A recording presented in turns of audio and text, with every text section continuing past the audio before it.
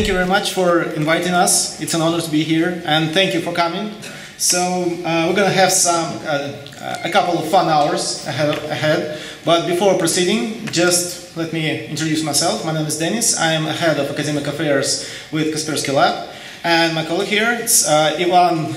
I can't pronounce your surname. Sorry. Um, Okay, okay, he'll tell it himself. Ivan, he is a senior security researcher with our GREAT team. GREAT stands for uh, Global Research and Analysis Team, which is like a commandos in cybersecurity field. So he'll uh, he'll have some pre pretty good stories to tell about uh, the recent, the modern threats in cybersecurity, uh, the recent attacks, the uh, APTs, and so on and so forth. Uh, and before uh, we'll proceed with uh, our small mini lecture. I just want to tell you about the few initiatives we have at Kaspersky uh, for the students. Um, so, uh, at the moment. Okay, so I won't bore you with uh, details about our job, it's not that interesting. But uh, this stuff, I'll, um, I'll tell you a bit more. This is what we call Secure Cup. Uh, so we are, um, in Kaspersky, we uh, strongly believe that, uh, uh well, the cyber criminals, they uh, know no borders, as you know it. They, they, it's international. they are, they are very, very well organized, and it's in an international community.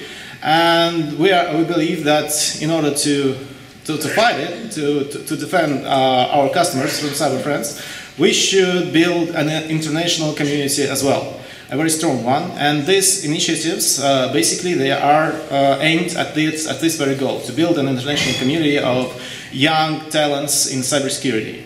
All, all of the ones who consider uh, the possibility to build a career uh, in cybersecurity. So um, this is the first thing, this is our international competition, which is called Secured Cup. Uh, it's for the students mostly. So um, we have, uh, the, the, so why would you want to participate in it? Because uh, the winner will get $10,000 and possibly uh, the, uh, the um, opportunity to participate in, in, our, like the most well-known conference, uh, SAS, which stands for Security Analyst Summit. Analyst Summit. Yeah, thank you, Ivan. Uh, uh, this is so, uh, but this is a team competition. So um, what you need to do in order to participate in it, it's a two-stage competition. So we are we identified several new markets uh, in which cybersecurity uh, solutions will be of, of, of uh, high demand in like next three to five years. This is IoT, Internet of Things, this is biotech, and this is uh, automotive and personal security.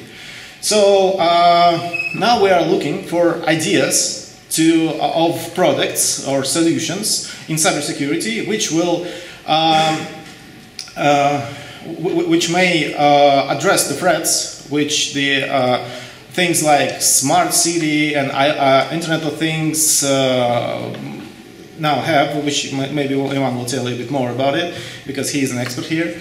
Uh, and um, if you have the ideas of the, of the products within these markets, then you just submit the, uh, the brief description of your idea. Uh, a team of three can participate, up to three uh, people, uh, because the, the finalists will go to Budapest uh, for, a fin uh, for, for, finals, which take place in the late of November. It's like 30th of November. Um, and then uh, you submit your, your idea at, the, at this site. Uh, I will show it to you just a second.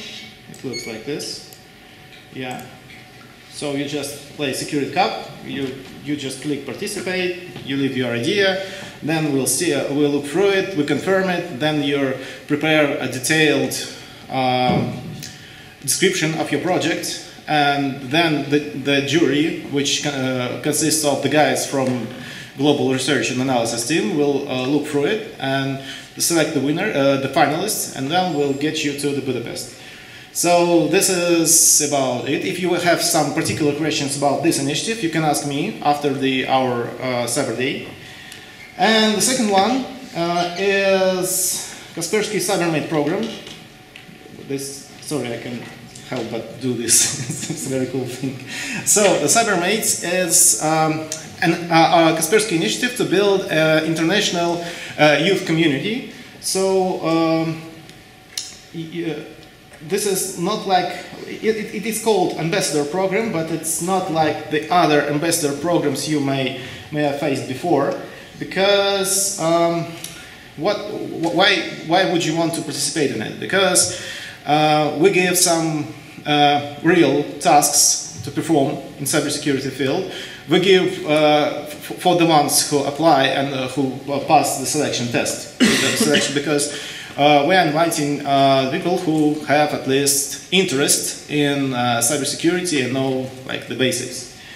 So um, this is not an invitation to get a job at Kaspersky. This is an invitation to um, cooperate uh, in the form of performing uh, separate tasks and uh, and get for and you can get for it like, things like starting from prizes and merchandise if it's simple, simple task, and then the money for, for the other tasks, and then maybe traveling for something else, and well, you can see uh, uh, more details here on the site.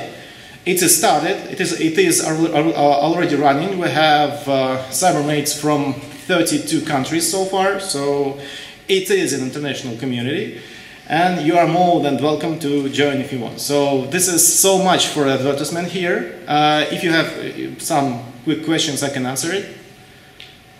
Nope. Okay. So um, now I'll pass the word to Ivan, who will gonna tell you what. okay, so he'll tell you the, uh, the topic of our discussion today, and after that we'll uh, get to the to the cybersecurity game right away. Okay? Okay, thanks. So. My name is Ivan. Uh, I work for Kaspersky, and today I'm going to talk to you about the recent trends in targeted attacks. So, um, first I'm going to tell you a few words about who I am and especially who, uh, what, what the team I work for does. Um, so as, as Denis told you, we, I work for a team called The Great and what we do is um, we work on basically APT research. So I'm going to tell you in a minute what that means. Uh, it's a team that was created in 2008 and we are about 40 researchers spread all around the world uh, working on um, threat intelligence, research and innovation, um, etc. So basically, the only thing we do is R&D. We don't work on the antivirus software at all.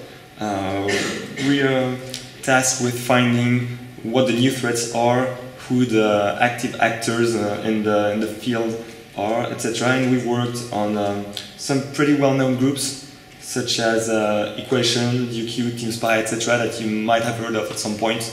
Uh, if you have some questions about them, uh, feel free to, to ask me about them.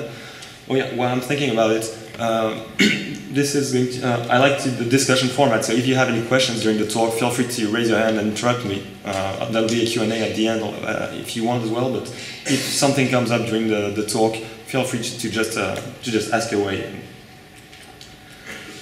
So, first, uh, this talk is going to, to be in something like two parts. First, I'm going to give you a bit of theory, theory about how we model threats and how we think about them. And then I'm going to uh, go into a bit more detail on uh, how they operate, how the, the various groups operate and what tools they, they use. Uh, so when it comes to modeling, uh, I'm going to go back uh, a bit in time and talk about the situation uh, the way it was five to ten years ago. So this is what we call the cyber threat pyramid. it's it's a pyramid showing who the different uh, different categories of the actors that are active in the cybercrime world. So at the top of this pyramid we have the APTs. Uh, what we call uh, APT means uh, advanced uh, persistent threats. These are the well the most sophisticated and advanced attackers. So usually they're associated with uh, nation states or groups backed by nation states. we see them as groups having virtually unlimited budgets and who are uh, you know, uh, working on the most sophisticated campaigns that we see. Just under them, there used to be cybercrime, attackers that are financially motivated and people trying to steal credit card information or uh, install ransomware on your machine, etc. And at the, uh, at, the at the bottom of the pyramid was the random internet noise, uh, which is uh, the, your usual spam, DDoS attacks, adware, port scan, etc. So uh, if you've ever set up a, a server somewhere and uh, launched a Wireshark on your server to see what traffic is arriving to it, I'm sure you've noticed how much, how many packets are reaching your servers that you haven't asked for. So this is the random noise I'm talking about.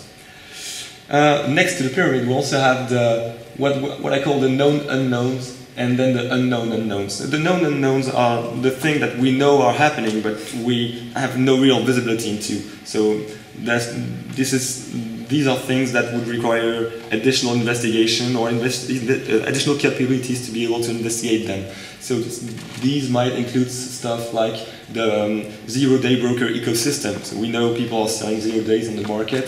We don't really know who they are. Uh, we don't really know uh, how many they are and uh, the, all the prices. And well, we know it's happening, but we don't have enough information about that.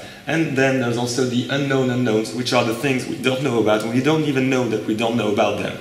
Uh, so it means we can't work towards investigating them. And part of uh, what the great team is trying to do is uh, make this unknown unknown circle as small as we can by trying to figure out uh, all the new attack vectors and all the things that uh, need to be investigated so uh, we understand the, the, the, landscape better.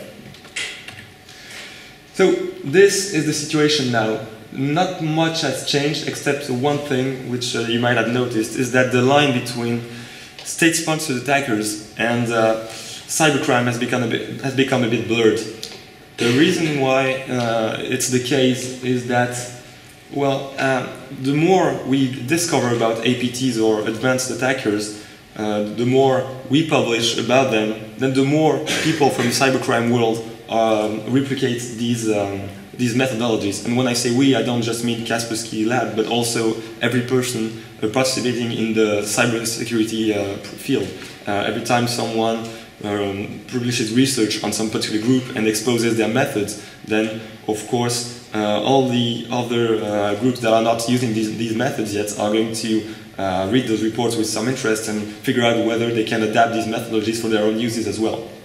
And funny thing is, this knowledge actually kind of bleeds both ways, uh, by which I mean, uh, when you, um, if you think about cybersecurity companies that have um, pen testing uh, activities or red team activities, then they also read all those kinds of reports and they all try to replicate them as well. And when they do, then they are going to write some tools, like maybe you've heard about the PowerShell Empire or stuff like this that are routinely used in pen, test, pen testing engagements. And these tools are usually very well written and get reused by APTs themselves in the future. So it's really um, a circle that's feeding itself. I would even argue that the line between uh, random internet noise and you know, cybercrime is blurring as well. Uh, the reason why I'm saying this is there was a case uh, a few years ago now where um, a, a, hacktivist called Phineas Fisher, you may have heard of this guy, maybe not. Okay, there is a company called Hacking Team that sells uh, uh, commercial keyloggers and, and backdoors to, well, they, if you ask them, they're going to tell you that they only sell them to uh, democratic governments, but in practice, so this is not something we can uh, we can prove. Anyway, they got hacked by uh, some hacktivists, uh, and this hack was very interesting because it involved some zero-day research. Uh, you can read about uh, all this attack online because the attacker actually published everything he did to to get inside the company. So basically even people that used to be considered random internet noise can now uh, mount very sophisticated attacks. So while uh, I just told you that it's not that easy to uh, categorize attackers the way we used to, I think there's still um, a wide spectrum on which we can place uh, we can place them depending on, on a few things which are um, well their individual methodologies, their objectives and capabilities. So first, I'm going to tell you a few things about uh, these uh, long-term operations. Um, in, in which we're going to consider actors that are trying to get an edge in the geopolitical game or to gain some kind of technological hegemony. Uh, do, you, do you know what a zero day is? Maybe I should clarify this notion. When we talk about vulnerabilities, uh, we, we, have different, different types of vulnerabilities.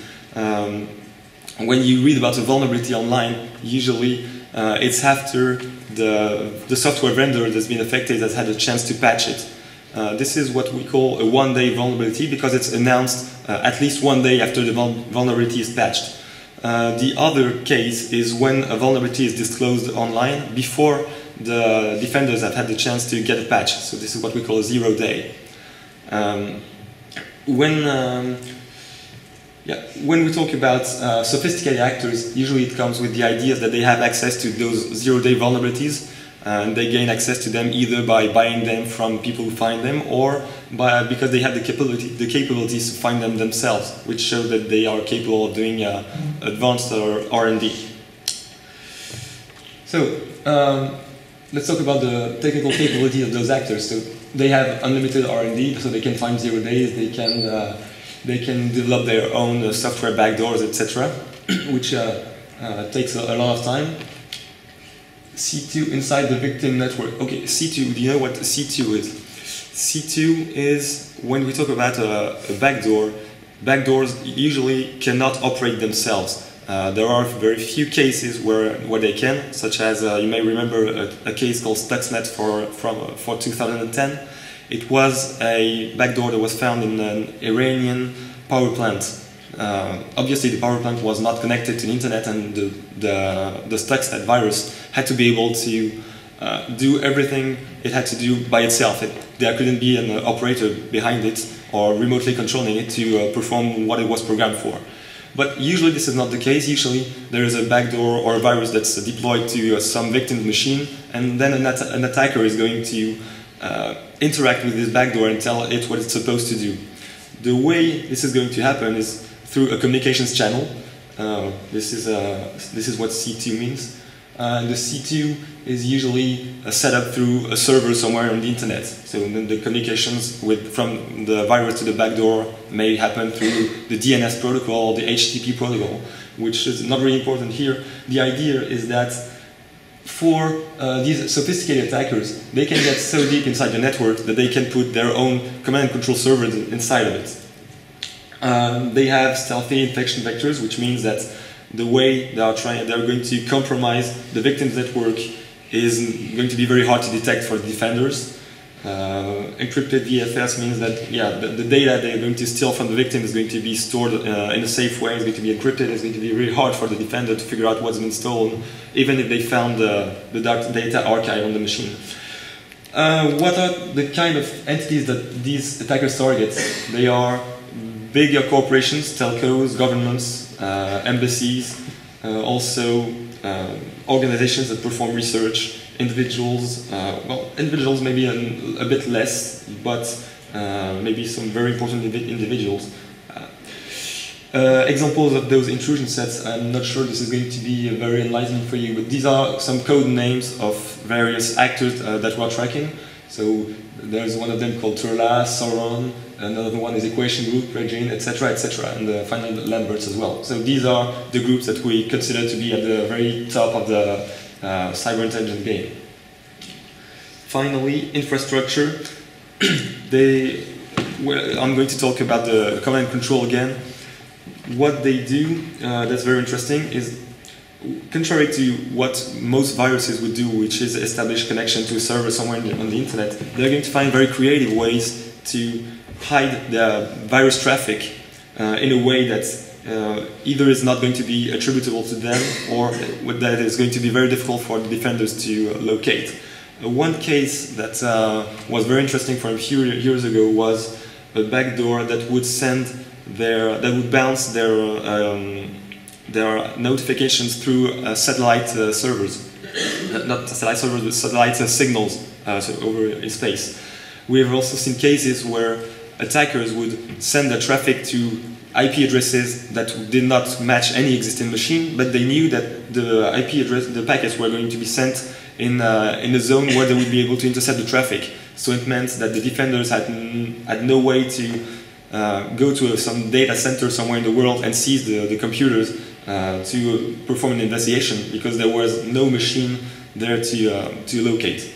So this is the, the kind of the kind of interesting um, uh, ways that uh, these attackers have been able to create uh, communications channels. Then we've got the the a bit less sophisticated groups uh, that would be uh, that correspond to what used to be cybercrime, and or not not only cybercrime but uh, nation states with a bit less of budget. So these these states would typically have uh, limited uh, R&D capabilities, which means a limited amount of zero days, or even sometimes none. They would still use some homemade uh, backdoors, but it's going to be a bit more simplistic. It's not going to be as hard to find as a, as a very advanced rootkit would be. Uh, they would use standard intrusion vectors with, like uh, phishing. You know, do you know? Do you all know what phishing is? Yeah. Okay. Uh, so I'm, going to assume you do. Uh, they're going to uh, send uh, you know, um, exploits through documents, etc. But they won't have to be zero days most of the time. Um, these entities are going to target ISPs, um, diplomatic entities as well, NGOs, and sometimes dissidents in their own countries. Yeah, so when it comes to uh, various groups, uh, we have a few of them there, Comment Crew, UPS, Blackvine, etc. So if you have any question about uh, them specifically, just ask them. I'm not going to go into too much detail because it's going to be quite boring, I'm afraid. Uh, finally, when it comes to infrastructure, the, these attackers are going to, well, to use more standard protocols. They're going to buy some servers around the world, uh, typically in countries where we cannot seize them. So uh, jurisdictions that uh, would be very protective of customer data and where we would not be able to go and ask for, uh, for in customer information even though the malicious activity has been demonstrated.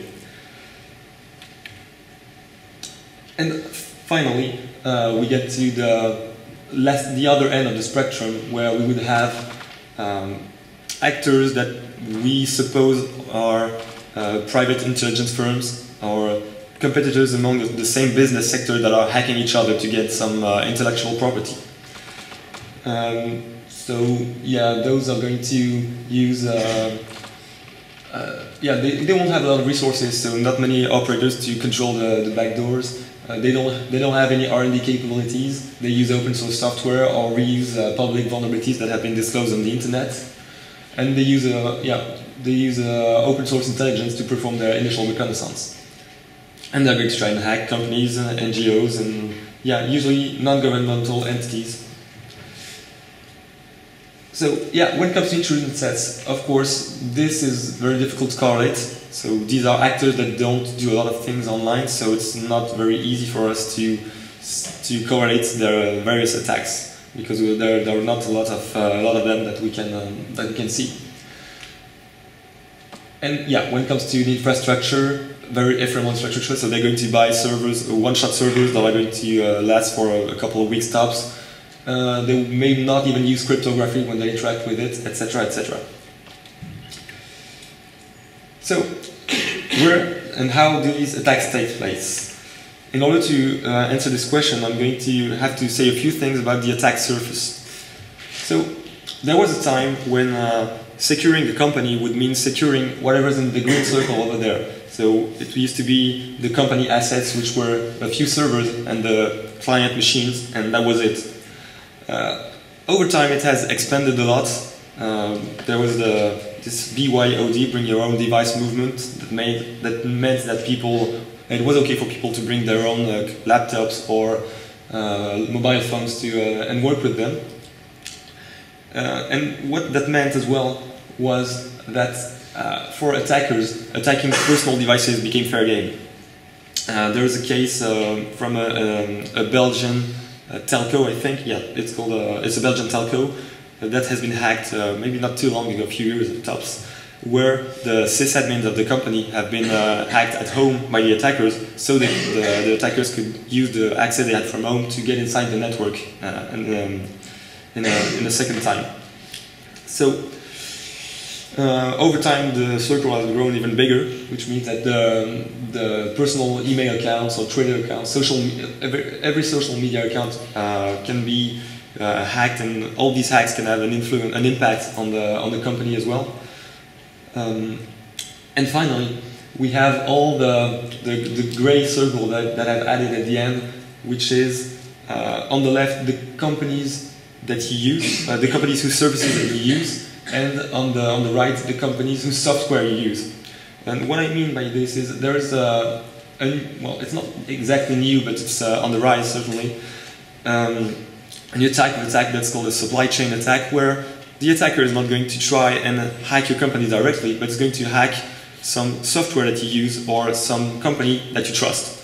And what this means is if you have some uh, IBM servers or uh, some uh, VPSs that you bought from OVH, then if either of those companies has been hacked and is either selling you backdoor servers or backdoor uh, machines, you're not going to be able to do anything to defend from that. And conversely, uh, if you, uh, I think most companies use uh, Adobe Acrobat or any kind of um, text editor. If any of them has been uh, compromised by an attacker, it's very likely that you're, if you use them, you're going to be compromised as well because by default you're going to trust these companies. But by the way, I'm not saying these, the, the, companies that are depicted on this slide are shown that merely, merely as example. I'm not saying that. Uh, well, I'm really not saying that any of them has been involved in any incidents. This is just an example, right? So there was a, a case in France, where, uh, it was maybe two or three years ago now. Um, it was a broadcast, uh, broadcast group called TV5 Monde. Um, maybe you've heard about it because uh, it was a lot in, in, the, in the news. They, they got hacked basically. Uh, they were airing, and then suddenly um, some, someone uh, destroyed their servers and they were not airing anymore. And after um, a big investigation from the French authorities, it turned out that uh, the initial breach had been made not directly from uh, through the company. It was not made by direct attack, but through uh, a supplier that was providing websites for them or something like that. And from that access, the attackers had been able to um, get inside the network of this broadcast group and then uh, destroy the servers. It was also an interesting case because the um, attackers had left uh, traces, they had left evidence on purpose in the network to make it look like it was a traditional cybercrime. They had left open source backdoors that they were, they were not actually using just to uh, in the hope that the investigators would, investigators would think that it was a, um, uh, yeah, it was a run-of-the-mill attack, which it was really not. So why uh, why has have these circles broadened? Uh, one thing that uh, I like to say is we get the attackers we deserve, and uh, OSs have been hardened over time. What this means is that ever since Windows XP, uh, more and more protections have been added in Windows versions or even in uh, macOS or iOS versions that make it so that it's extremely it becomes more and more complex for attackers to set up uh, to exploit vulnerabilities that are going to result in code exploitation. So attackers are not going to go through the pain of setting up a complex uh, you know, three-band attack for a company that's using um, XP machines, but if they have to, they probably will. Um, there are also uh, logical vulnerabilities that are still present in uh, a lot of software. Uh, for instance, I'd like to talk about this one called CVE 2017-0199. Do you know what CVEs are? Maybe not. Okay.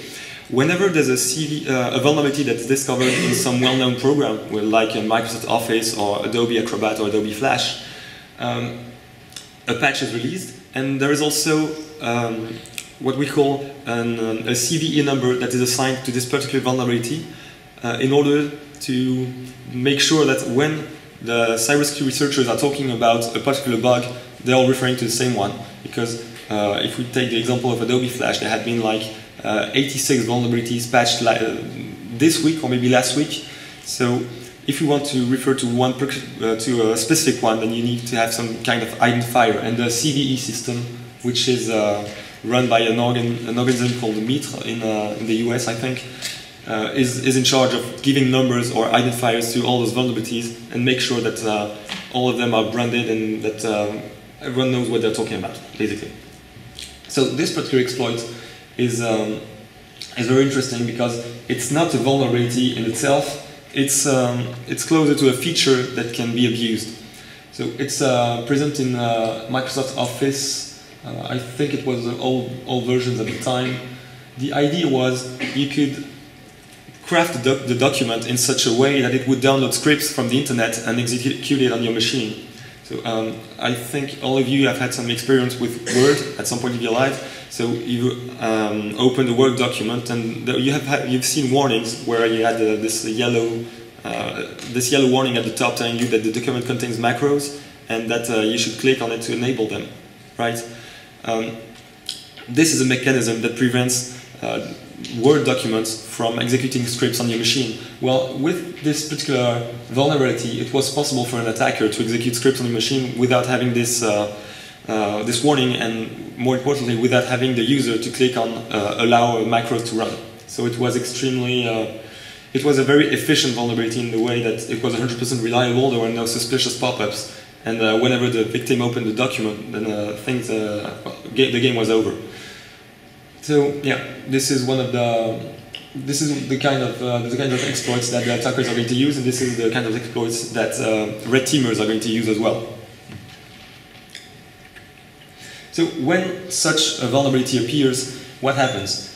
Uh, someone makes an advisory in the internet, and then people start writing on what we call proof of concepts. Basically, proof of concept is there is this vulnerability that, that exists somewhere in theory, or that has been published and or patched, and then someone writes code to exploit this vulnerability and to achieve code execution based on it. So this is what this is. Uh, these codes are called proof of proofs of concept.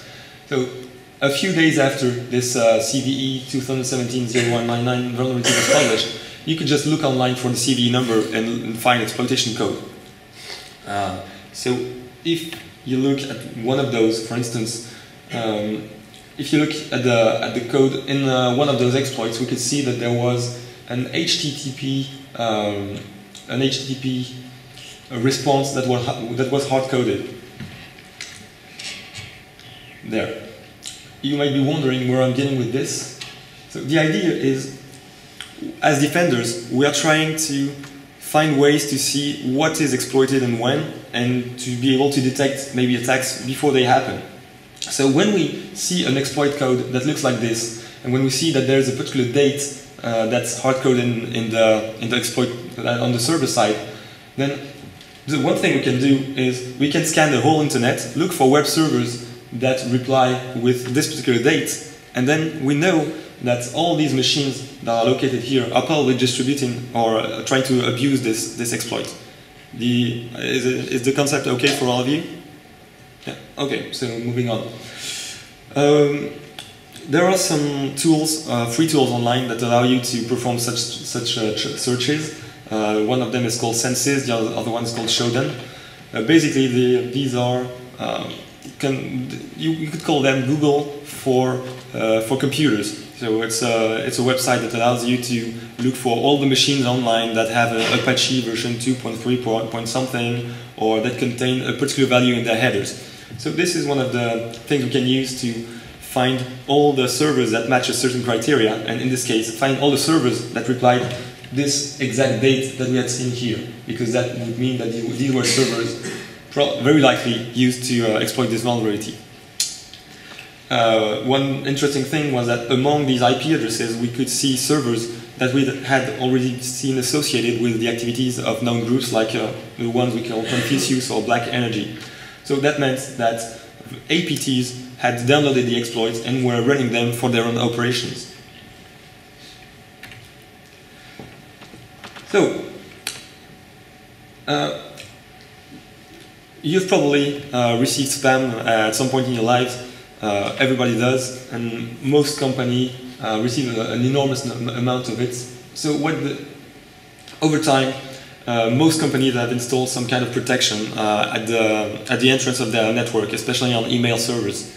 What they did was install send, analysis sandboxes uh, etc. That would make sure that every email with an attachment would get thoroughly scanned. This would this just prevents uh, a lot of attack scenarios, and this means that a lot of these uh, scenarios that I, that I talked about before, uh, especially the one with the document sent over email, uh, probably wouldn't have worked in a case where uh, the attackers were talking to a company that had a sandbox at the, um, uh, on the mail server. So yeah, a long time ago people would send executable files. Uh, now that doesn't work anymore. Try sending an exe file through Gmail and you see it, it won't work. Re recently people, uh, well more recently, people started to send um, tracked documents, uh, either PDF files or doc files or XLS files, etc. And this is yielding less and less results. So now attackers are moving to a new uh, mode of operation, which is just sending a link. So that link may usually point to uh, a web page that has been trapped and that uh, contains uh, an exploit for your web browser, for instance. Um, yeah, a few words about mobile, uh, mobile phones as well. Mobile phones are uh, a very interesting target for attackers. The reason for this is that the, uh, on the Android part, the Android ecosystem still lacks maturity when it comes to security. What I mean by this is uh, it's not that the OS itself is, uh, is not well coded or something like this. It it's just because there is a lot of fragmentation. Fragmentation means that uh, if you look at all the devices, the Android devices that are in circulation today, well, only uh, a very small part of them uh, actually uses the latest version of the OS. So what it means, if you look at the, the pie chart over there, uh, it means that there is only a, a small size, uh, a small slice that could be considered uh, up to date, up to date patch-wise. So this is not something that's very helpful. There are economic incentives that that make this the situation so uh, basically, if your device is not updated for a long while, then you're more likely to buy a, a new one. Uh, there's also constructors that uh, do not want to patch devices forever because it's cost, it costs them money to, uh, to work on the updates. So anyway, the situation is that a lot of Android devices out there are, are in a bad situation security-wise. There is also there are problems with the, with the Play Store where there is uh, no, not much control on what is provided on the, on the Play Store, which means that uh, attackers have been known to upload malicious applications and if you download them, then your phone gets compromised, and the applications may look like uh, well-known apps such as WhatsApp or stuff you'd use every day. That being said, uh, iOS users are not entirely safe either. So the app, uh, Android, sorry, the iOS App Store is um, is is um, way more secure than the Android one because they have a very thorough they have very thorough checks on what they accept or not. Still, uh, there are companies like uh, Zerodium that are offering more than a million dollars for an iOS 10 exploit, which means uh, an exploit and that would, uh, if you send uh, a, link or, an or a message to the target, uh, the, the, target only has to open the link or read the message to get, get compromised. So it happens. Uh, it can happen. It's very expensive, but uh, some attackers have been known to do it. For instance, a few years ago in the UAE, there was um, a dissident called Ahmed Mansour. Um, he, um, he was the target of one such attack, and uh, it was uh, his phone was analyzed after he had received some suspicious link over uh, over iMessage and uh, the, the, researchers discovered um, a, a, chain of exploits. There were like three different exploits that were trying to, uh, from a, a, simple message, trying to achieve code execution of his phone and to access to, to gain access to his uh, SMS or emails, etc., etc. So, so yeah, there's also a new trend that we've been seeing uh, quite recently is uh, actors using, what we call MDM servers for mobile management, mobile device management, servers to infect devices. Uh, mobile MDM servers are used by companies to, uh, uh, to manage um, the, the, the phones of their employees. This means that if you, uh, if you work for a company they give you an iPhone, then they're going to register your iPhone through their MDM server uh, so they are able to uh, manage it from a, from a distance. So they, they will be able to install apps for you or to prevent you from installing some apps if they want uh, the phone to be used for work purposes only. And we've seen attackers install their own MDM servers and try to convince uh, victims to uh, enroll to the, on their servers, which is going to give them the, the ability to push updates or push, maybe not updates, but push uh, applications, applications that are going to give them access to the SMS, etc. So, yeah, iOS users are not entirely safe. Any questions so far? No? Okay. So more on the threads. We're now, uh, if you remember the attack surface uh, diagram uh, at the beginning, we're now talking about circles 3 and 4. So what we can see is less attacks against you know, the direct uh, corporation network, but attacks targeting um, um, you know, assets that are indirectly linked to the company. So web, web applications, VPN, maybe uh, sometimes the email server as well. Uh, I talked about supply chains attack uh, earlier, where the trusted companies of the victim are going to be uh, used as a Trojan horse to get inside them. Um, trapping legitimate stores, yes, so this is uh, the case where you download software from a, a, website you think is trusted, but it's actually backdoor software that's going to install a malware on your machine. Uh, yeah, we've seen such cases in the past. The Microsoft published uh, a report in 2017 where uh, a financial institution, uh, I don't know, I don't remember in which country anymore, I think it was Ukraine, um, a financial institution uh, had an IT team that downloaded some text editor from the website and the website had been compromised so that the attackers, the, the installers had been modified in a way that when the text editor would be installed on the machine, then a, a backdoor would be installed as well that would give access to the attackers to the corporate network. Um, so yeah, credential phishing, all the usual techniques. Typo squatting. Typo squatting is an interesting one. It's when uh, you try to abuse uh, typos on the keyboard. Uh, if, I have, if we have a, a website called kaspersky.com, um, it's possible for an attacker, if we haven't done it already, to register names that are close to our own domain. So uh, Kaspersky with an, uh, with an I in the end instead of a Y. And if someone makes a mistake when they type the URL or when they send an email, then the email or the browsing traffic is going to reach the attacker server instead of the, the one that was originally intended. Oh yeah, water holing. Do you know what water holing is? No? Okay, water holing is a, is a very interesting class of attack where uh, the victim, assume that the victim is uh, an organization with a very high security uh, posture. So it's not very easy to get inside the network from the outside. But if you know that their employees are going to browse to a particular website every day, like uh, if, they, if you know that every day at uh, 8 the employees are, are, browsing to the guardian.com because they want to see the news or some, uh, some other website, and if that other website has a, a, a worse security than the organization trying to target, then it's possible to attack this website that people are trying to visit and put uh, your trap over there and, and, wait for the employees to connect to that uh, server and to download your, your exploit or your, your trap. Uh, is that, is that clear for you? Yeah, so, okay, basically it's a two-band attack. Oh, also worth mentioning, uh, a very nice, uh, very nice attack vector that is USB uh, keys. Uh, research has demonstrated that if you drop USB keys in front of the company, eventually it's going to, be, it's going to someone's going to plug it into a machine. Like um, I think people, uh, some researchers made a test when they dropped something like 40, key, 40 USB keys around uh, some company's premises, and maybe 20 of them eventually got plugged on some uh, some machine.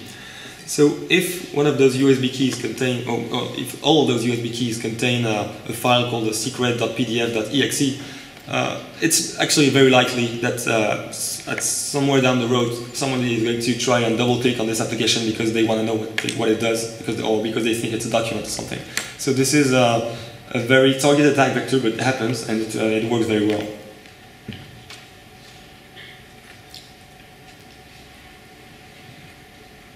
So yeah, let me say a few words about the way we work and the way especially we try to um, write reports on different uh, groups or intrusion sets, and how to try to link different attack campaigns to one another and to actors using uh, technical indicators. So, the first thing I have to, to explain is that uh, once, an, uh, once a campaign has been discovered, it's usually, uh, it's usually easy for us to uh, find all the, all the victims. the way we do this is when we discover that there, there, has been an attack, we um, look at the machines, we, we find the malware that's been used, we download it, and then we analyze this malware, which means we put it under the microscope and we see everything it does. And when we, when we find uh, something very singular about this malware, then we can create signatures. These signatures are, uh, for instance, uh, a string of bytes that are very characteristic, that are, that are only found in a particular sample.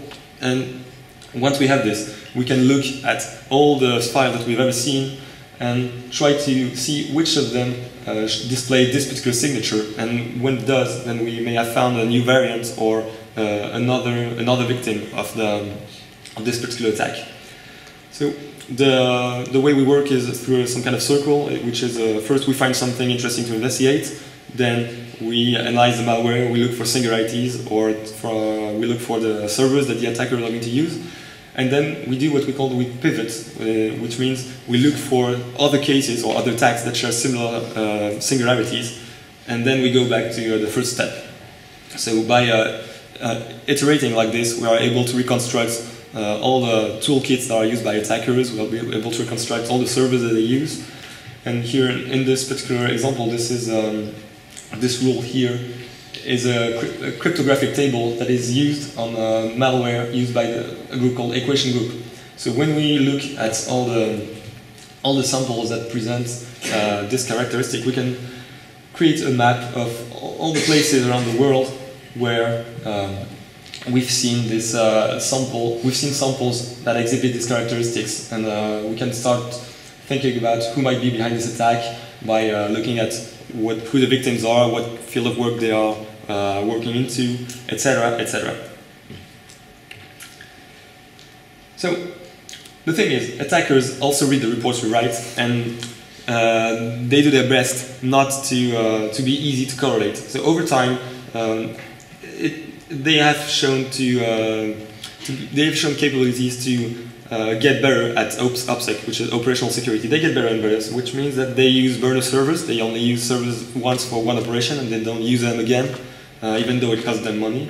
They do stuff called a geo-blocking, which is that they know that they're attacking people from this particular country, and if they get traffic from another place in the world, then they are not going to respond to this traffic because they know it's not the attacker, but maybe they know they know it's not the victim, but maybe a cybersecurity researcher that's trying to investigate the case. Another thing we've seen that is uh, more troubling for us is increased reliance on open source frameworks, which means that they don't even use their own tools anymore, which we can use to correlate them, but they're going to download stuff from, for free on the internet and use them, and uh, you know, get lost in the mass of all the people that are trying to uh, use the, that are trying that are using the same tools because they are open source and free.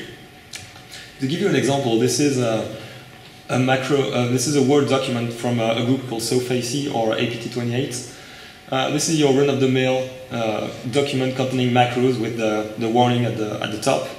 And if you uh, click on the macros and you see uh, the document gets displayed and at the same time you get a backdoor installed on your, your system. This is not that interesting. What's more interesting is if you look at the code uh, that is uh, run by the attacker once the macros are enabled. I, I don't want to go too deep inside the detail of this code because you know, you'll have a lot of uh, lot of time in your during your, your studies to write and read code. What I want to point out here is that uh, it's a bit rudimentary because the attackers here, even though they are a very sophisticated attacker, they didn't use uh, HTTPS, which means that the traffic was going out in the clear. That, make, that makes it easier for defenders to uh, figure out that uh, something's going on. Uh, they, there, there is no proxy handling code, uh, as well. And uh, the encryption they're using is uh, a bit poor. It's a simple XOR key. if you don't get all the details, it's not very important at the moment. Now, if you look at the exact same code, uh, exact same code in the sense uh, that it does the same, uh, from the open source project called Empire that has, you know, the, that offers users the capability to generate documents, then the code here is much more complex. Uh, it has uh, a, it uses a, user agent that's well known. Uh, it also contains a, I think it's not shown here, but this one contain, contains RC4 encryption now, which is much better than the RC4 key. They have some proxy and handling code, etc. Uh, what, what I meant to show with, this, uh, with these two slides is that um, tools that are publicly available to anyone tend to get more and more sophisticated and tend to be even better than what the attackers used to do because the, they are the results, the, these frameworks are the results of uh, countless hours of work from the free and open source software the community. So you have projects like uh, PowerShell Empire, Metasploit, uh, BeEF, which is used to perform uh, browser exploitation, etc., etc. And this is a, a, general trend where more and more open source tools or even legitimate tools like uh, Microsoft PowerShell or uh, sysinternals are used by the attackers because they are um, they are very hard to link to uh, a particular group. Uh, the reason for this is if I have to do an, an if I have to do an investigation on a machine and I find uh, uh, PowerShell Empire, uh, PowerSploit Empire, or uh, some tools from the sysinternal suite that have been used for the hack, then it's very hard for me to to get into information on who is behind the attack because anyone can get those tools anywhere. So, yeah, the, the cons is that since these tools are public tools, it's uh, more easy for antivirus software to flag them as malicious. But the, the pros, at least for attackers, is that uh, there's no way for the defenders to be able to correlate the particular attack to them if they use, uh, if they use tools that, are, that, that do not belong to them in the first place. Okay, I'm going to, to start wrapping up. noisy targeted attacks are less and less common. Yes, this is a trend we've been seeing. Uh, well, attack and defense is a cat and mouse game, I guess. So it's not, uh, it's not, it shouldn't come as a surprise that uh, uh the attackers are trying to be creative to, uh, to not be uh, discovered. So they try to use more and more open source tools and more specialized infrastructure. So what they used to do in the past was use the same server to conduct uh, a huge number of attacks, and now they try to use one server per attack, which is uh, um, which makes it harder for us to uh, to correct these attacks, of course. Um, that being said, uh, the fact that um, uh, these methodologies are evolving do not mean that uh, the companies cannot suffer from all these these attacks, especially. Um, when uh, with the high-profile cases, high-profile cases we've seen lately, like NotPetya, WannaCry, you guys have heard of WannaCry, right? Yes, of course, of course you did. So the idea behind WannaCry was some exploit from uh, allegedly the NSA has been leaked online, and then some hackers allegedly from North Korea took that exploit and uh, you know duct taped it to a ransomware, and then they uh, launched it on the internet, and then the, the ransomware started replicating itself and uh, attacking more and more machines, which had uh, which caused a, a lot of uh, financial losses. So, yeah, um, government-grade ransomware is coming. So, preventing intrusion is preventing intrusions is pr pretty pretty hard, and pentesting experience shows that most companies are not able to provide a list of their IT assets because of either management issues, because of shadow IT. Shadow IT is the fact that you have some people in your organization that need some service and uh, don't come to IT to get it, but are trying to set it themselves, buying servers and installing software. That happens, and it's very hard for companies to prevent that. Uh, turnover as well makes uh, makes it so that uh, companies uh, may not know uh, what which server does what over the course of years. So uh, stopping attackers at the gates uh, may be something, uh, maybe a, a, lost battle, I think. Uh, what is possible, however, is to uh, try and detect the attackers once they breach inside the network. So think defense in depth. Uh, if, if someone were to breach your perimeter, what would you, how would you be able to figure it out? This is, I think, the, the question that defenders should ask themselves nowadays the thing is, while preventing intrusion is hard, it's also quite difficult for attackers not to leave any trace when they're inside the system because uh, everything you do on a computer, uh, well, not everything, but most things you do on a computer that are interesting get logged uh, one way or another. Uh, the thing is, defenders, uh, are you reading the logs? Are you keeping them somewhere? Um, if, uh, yeah, what about backups? If, um, if you have an incident at some point, are you sure that you're going to be able to look at those logs? Uh, these are important questions that uh, you need to be able to answer. Yeah, so the, the final uh, message I'd like to give you here is that uh, hacking at its, at its core is an asymmetric capability, which means that um, a very small actor, that can be possibly even a single individual, is going to be able to do uh, to cause significant damage to uh, a big organization, uh, like large corporation or even bigger. So the only way that uh, this uh, asymmetric capability can be balanced is when defenders cooperate between each other. So there are a lot of communities online where you can share details about attacks you've suffered, like the results of your investigations, this is, uh, this is something we do at Kaspersky and uh, we co cooperate with a lot of other companies that uh, uh help us figure out uh, how to detect attacks and also uh, give us information on the attacks they have suffered. And this is, in my opinion, the way that we are going to be able to keep up, keep up with attackers. Okay, so I think this about covers it for what I had to, to say. Do you have any, questions, any comments maybe? Yeah. Towards the start of you were saying that was it encrypted VFS? Yep. Um, so the attack is inside someone's system and they're encrypting um, the victim's data within inside their own system. Okay, no, this um, actually, uh, I might not have been clear enough on this. So these are two separate things. There is ransomware on, on one side, which is um, malware gets on your machine, and then it encrypts your disk, and it won't give you the key back unless you pay, or even if you pay sometimes.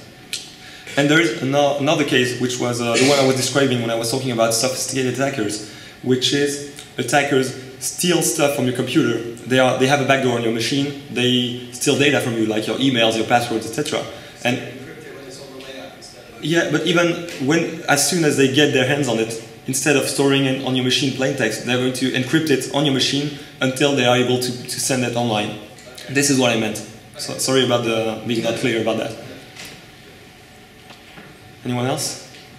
Yeah. You find that smaller organisations or larger organisations are more sophisticated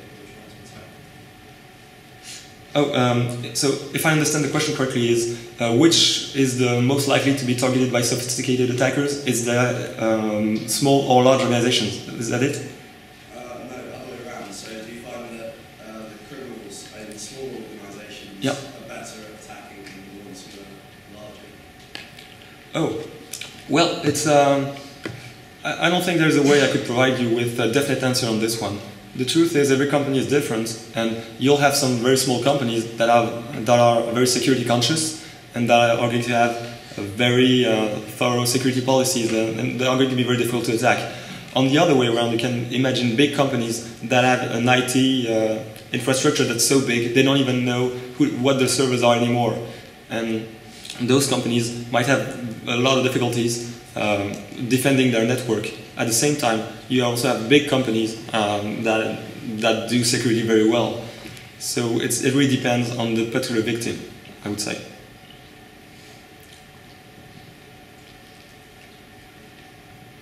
All right. Well, thank you very much for listening to me.